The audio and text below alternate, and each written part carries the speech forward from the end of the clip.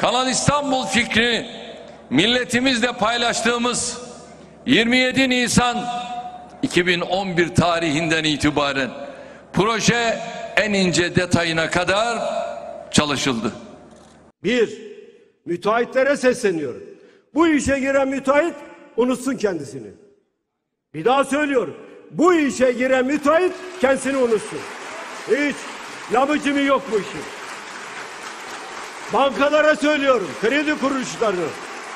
Bu işe kredi veren unutsun kendisini. Yok öyle bir şey.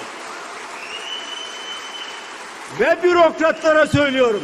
Bunun altına imza atan bürokratın burnundan fitil fitil yatıracak.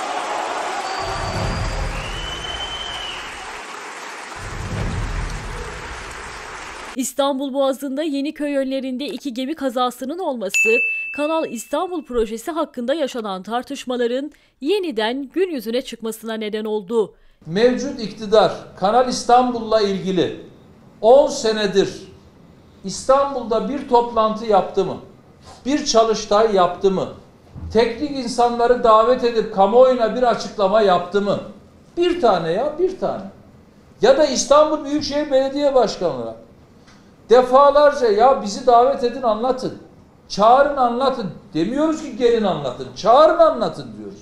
Kanal projesi sadece İstanbul halkını ilgilendiren bir konu olmaktan çıkıp iktidar ve muhalefet arasında yaşanan büyük bir sürtüşmenin de nedeni oldu. Kanal projesi Türkiye'nin en önemli gündem maddelerinden birine dönüştü.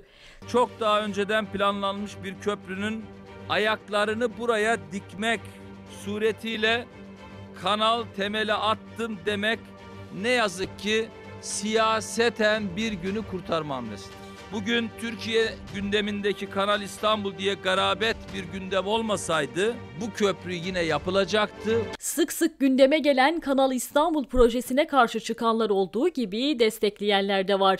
Bir kesim Kanal İstanbul'un Boğaz'ın güvenliğinin sağlanması için yapılması gerektiğini düşünürken bir kesimse projenin doğal bir felakete yol açacağından endişe ediyor. Sevgili hemşehrilerim, sevgili İstanbullular, tüm sevgili vatandaşlarıma sesleniyorum. Kanalın uzunluğu 45 kilometre.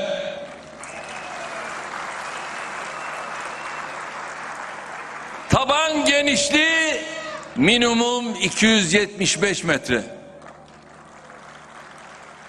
Derinliği küsuratı söylemiyorum 21 metre olarak belirlendi. Kanal projesini destekleyenlere göre projenin en önemli amacı İstanbul Boğazı'nın mevcut dokusunu korumak ve güvenliğini sağlamak. Bunlarla beraber Boğaz'daki deniz trafiğinde mevcut yükün azaltılması, uluslararası kullanıma sunulacak yeni bir su yolu oluşturmak, İstanbul depremine karşı depreme dayanıklı yatay yerleşim alanı yaratmak gibi amaçları da olacak. Öte yandan Montreux Boğazlar Sözleşmesi nedeniyle boğazlar üzerinde belirli bir sınırlama var. Ancak kanalın açılması ile birlikte Türkiye'nin tam söz sahibi olabileceği bir geçiş alanı yaratılması bekleniyor. Toplam 7 yıl içinde hizmete sunulması beklenen Kanal İstanbul'a karşı çıkan büyük bir kitle de mevcut. Karşı çıkanlar İstanbul'un projeyle beraber susuz kalacağını, Terkos Gölü'nün kapasitesinin büyük oranda düşeceğini söylüyor. Ayrıca çevre katledilecek ve ekosistem bozulacak. Kamulaştırmalarla birlikte vergi yükü ve maliyetler artacak.